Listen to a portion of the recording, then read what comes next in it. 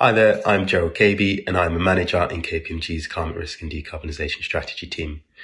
Been with KPMG for about five years and started my career focusing on financial services regulation and transformation.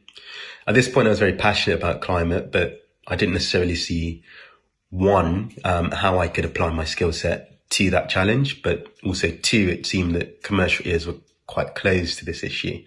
Um, I'd find, try to find ways that we could bring it up in conversations or apply it to clients, but we hadn't quite got there yet.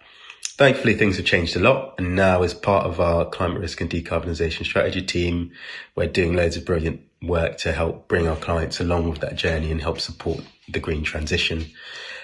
I think I've been particularly excited about the work we've been doing as part of the team because it's allowed me to apply my skill set of financial and economic analysis um, to an issue that I'm one passionate about, but also two has far-reaching benefits for all of those who we share our planet with.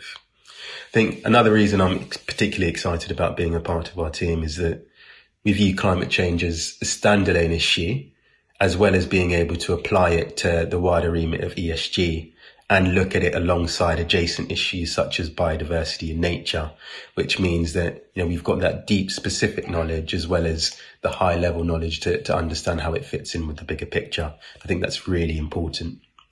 Some of the work that we're doing at the moment includes helping firms through their decarbonisation journeys and developing the strategies to underpin that, as well as building out climate change capability and understanding within their existing teams, which I think is really important.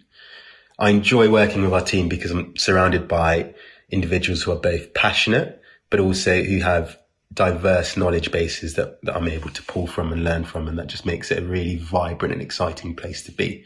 I think this creates a very innovative open door culture where everyone feels that they can you know, speak up. They feel empowered to contribute.